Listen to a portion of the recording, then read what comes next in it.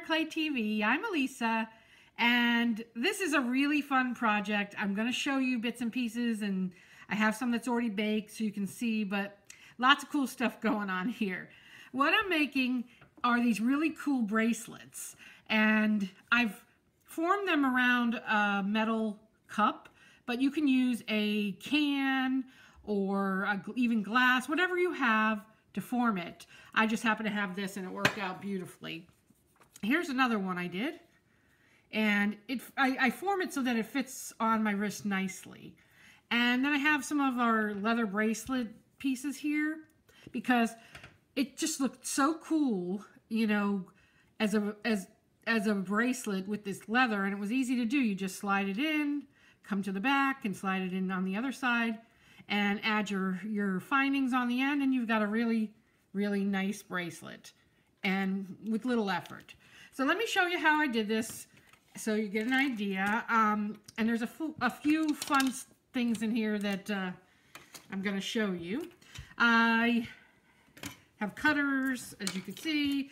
I've got ink and some of the cabochons, and this is a rubber stamp, which um, I'm not going to tell you because it's a surprise. but anyways, I've already stamped this rubber stamp. And this is really how I would start out. I would condition my clay, roll it out to, this is my fourth thickest setting on my pasta machine. It's about yay big, you can see here. It's not super thick. You know, if you're really hard on things, I would definitely go a little thicker. If you, you know, although this clay really doesn't break easily, you know, it's it's Premo brand that I'm using. The, This is the souffle. You know, if you want, if you feel like you're going to break it, go a little thicker. Go with a number one. But I went with the number four, and I was fine. But I had this cutter here from the Potion. It's a Potion cutter, Potion bottle cutter. And this came out of the special edition ha Halloween box that we did for Create Along. But uh, I'll have them in the shop in case you want them. So basically, I stamped my clay with this stamp, and I'll give you a little teaser. It is uh, on its way. That's all I'm going to say right now. but anyways, I uh, just give it a little push. I don't like working on this silicone, but that's all I have. I prefer to work on glass or tile. It cuts better and I can kind of move it around. But, and that helps me clean up my edges easier. But since I don't have glass or tile that I can use, I'm just going to do it and clean up my edges pretty fast by hand.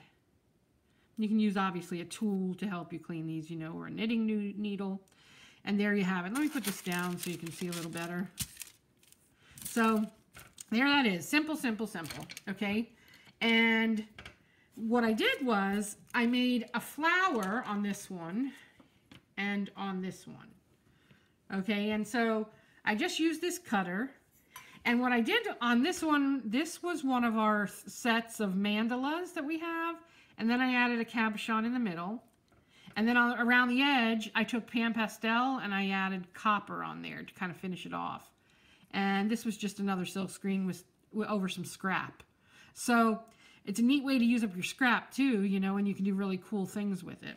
So that was that. And this one here that I haven't, you know, added anything to is um, I Never Promised You a Rose Garden. That's the name of the new silk screen. And I actually did this one here, which you'll see I'm going to cut out these holes. I did it with a little, our new flower cutter, but for this one, I'm going to use one of the round plunger cutters. And what you want to do is be careful um, so that you're not so close to the edge. Like you don't want to come all the way to the edge. You want to back it up a little so that it doesn't break easily. And I, I try to hold it and give it a little twist so I get a nice cut. There you go. And I'll get back to the flower. I was just about to tell you about that, I think.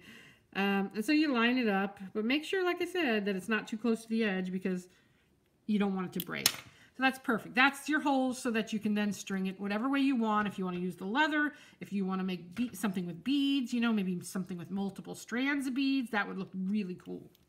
So Okay, how did I do this middle part? This is on translucent clay.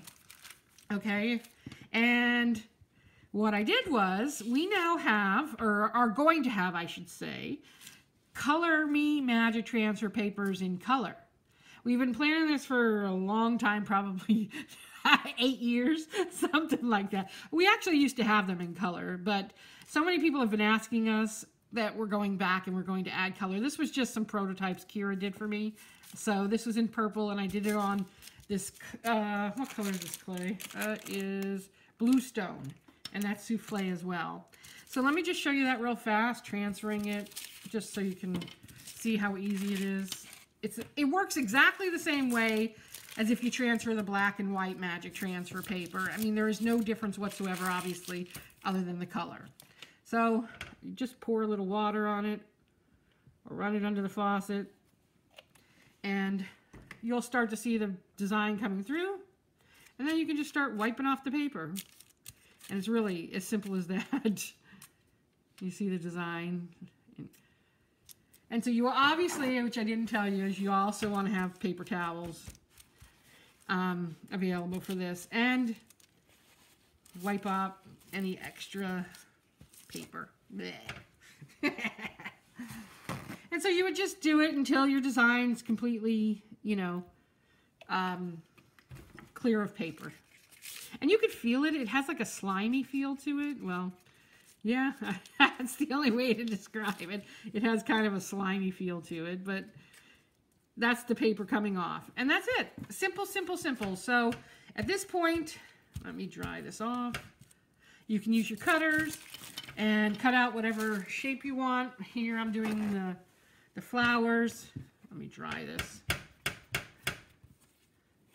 And so I'd come back, there's still some paper on it, but whatever, I'm just showing you for now. So I try to get it in the middle here. Let me just move this, it might be out of, out of your, your uh, camera view, but I, I think this is as close to being centered as I can get at this point because I can't really see that great.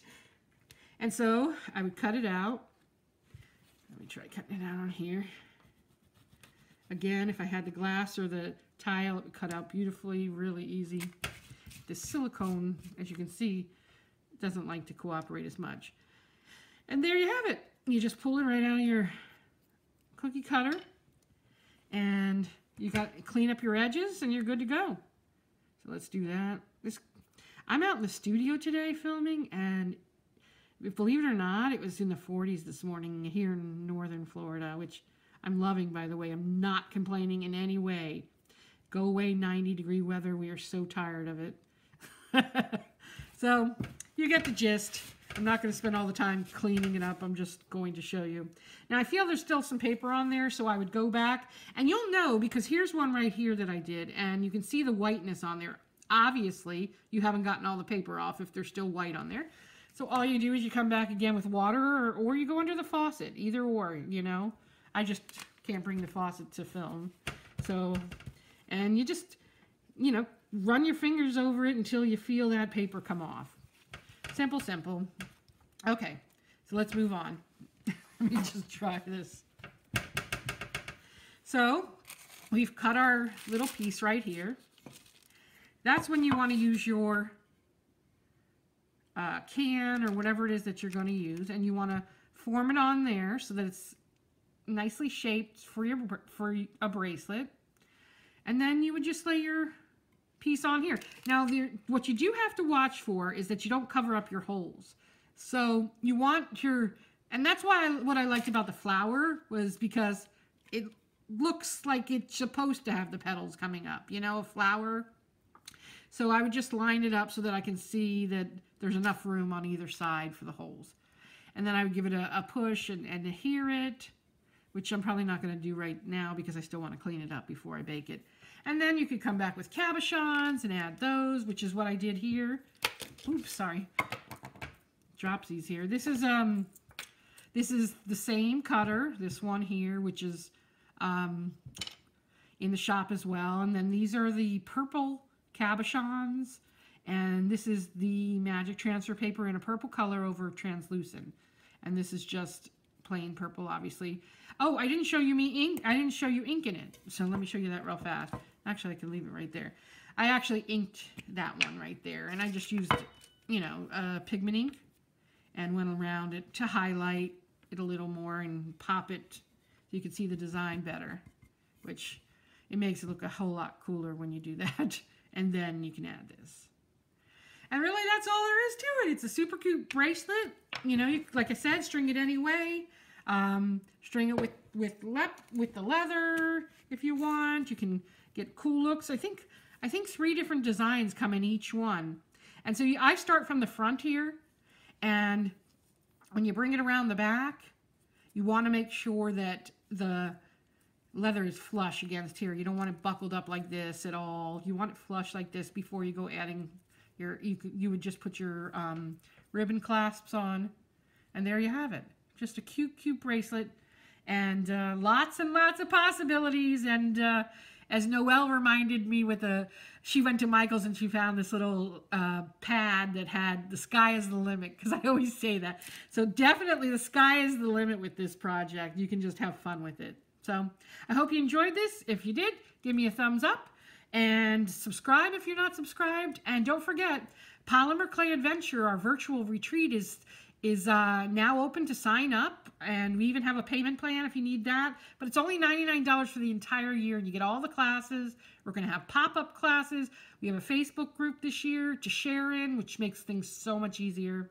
You'll get your videos to download. So if you want to take them on the go, you'll have that this is our fifth anniversary and we planned a lot of fun stuff. So I hope you join us at polymerclayadventure.com. And I will see you next time. Thanks for joining me.